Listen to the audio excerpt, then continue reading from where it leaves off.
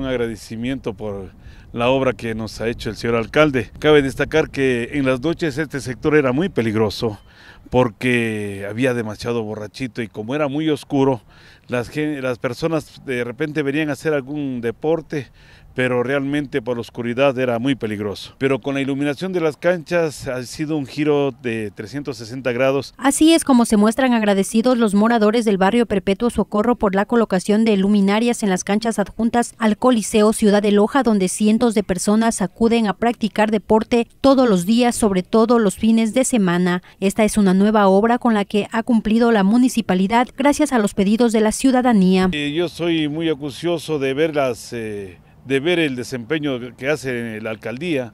Y realmente nos hemos dado cuenta que en bastantes, en muchos barrios de Loja eh, se ha visto el cambio de, de la, de, o sea, la colocación de luminarias y de, la, de hacer las canchas nuevas.